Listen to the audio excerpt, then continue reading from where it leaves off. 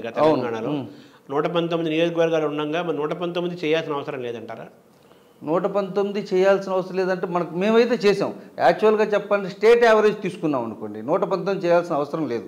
యాక్చువల్గా నేను చెప్పాలంటే మేము ninety four ninety five ninety ఎయిట్లో కానీ ఎప్పుడు చేసినా సరే మేము స్టేట్లో యావరేజ్ ఈ పార్టీ గెలుచుద్ది అని చెప్పడానికి మేము two thousand samples for state చేసాం ఐదు వందలు కూడా చేసిన రోజులు కూడా ఉన్నాయి. టూ థౌజండ్ శాంపిల్స్తో మాకు ఇండియా టుడే వాళ్ళు ఇచ్చేవాళ్ళు అప్పట్లో.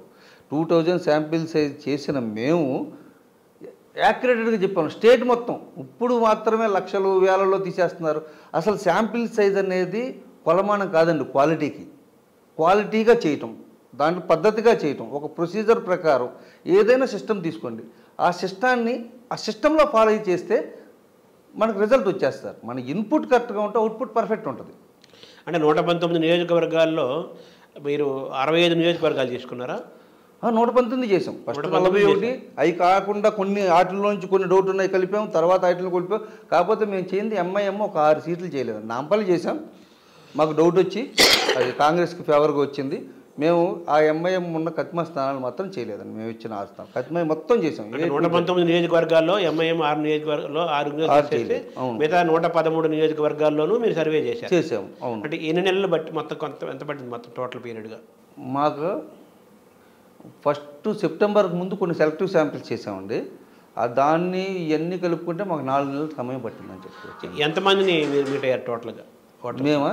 సుమారుగా డెబ్బై ఐదు నుంచి ఎనభై వేల మంది దాకా చేసాం సార్ ఇంటర్వ్యూ. ఎంతమంది టీం వర్క్ చేశారు ఇది టీం వర్క్.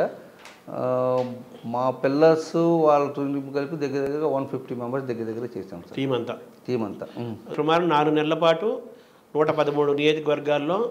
నూట యాభై మంది పైగా టీం అంతా కలిపి వర్క్ చేశారు. ముప్పై వేల శాంపుల్స్ చేశారా? ఎనభై వేలు ఎనభై వేల శాంపుల్స్ తీసుకున్నారు. ఎనభై వేల మంది నుంచి అభిప్రాయాలు సేకరించారు. నిన్న ఓటింగ్ ఓటింగ్ జరిగింది కదా. ఓటింగ్ జరిగిన తర్వాతకి జరగ ముందుకి ఉన్న డిఫరెన్స్ మీరు ఎలా తీసుకుంటారు?